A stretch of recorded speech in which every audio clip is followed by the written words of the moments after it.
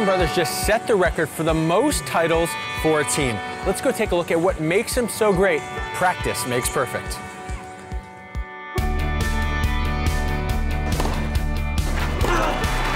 Guys, how you feeling? Feels really good. Um, you know, we got the pressure off our back. We have uh, the all-time titles record. It feels uh, feels pretty pretty sweet. Well, we saw some of the drills that you were doing, you're doing a quick volley drill. Why is that so important to the success of your doubles? Well, these are drills that we were doing since we were six years old.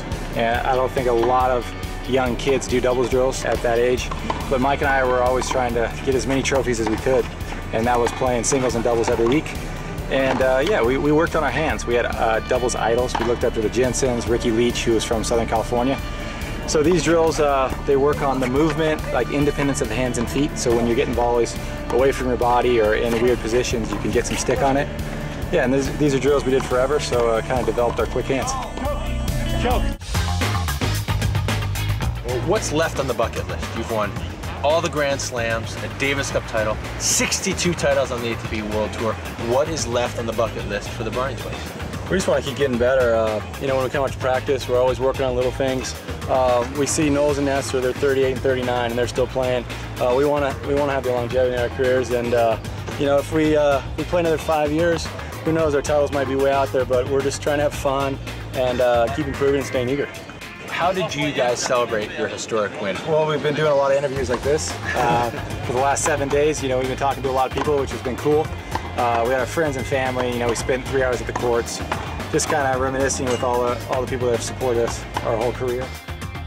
Barclays World Tour Finals has been a huge goal for you guys, and it's been a huge moment in your past couple years. Last year, the last match of the year, you captured the number one ranking. The year before, it went the other way, where you lost the number one ranking. Um, how big of a goal is it for you guys to make it back to the O2 Arena?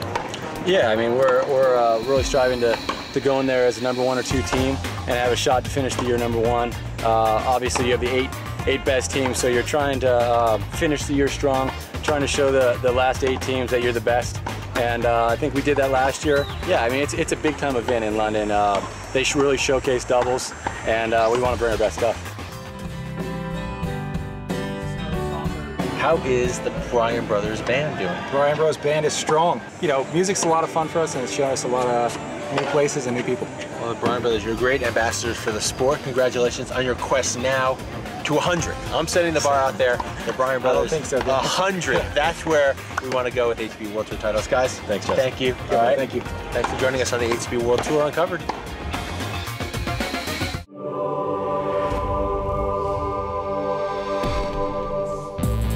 Next week on ATP World Tour Uncovered, we're behind the scenes for Access All Areas as the US Open hots up in New York. And we find out how 2009 US Open champion Juan Martín Del Potro is progressing on his long road to recovery. Until then, don't forget to log on to atpworldtour.com for your 24 7 breaking news. See you next week.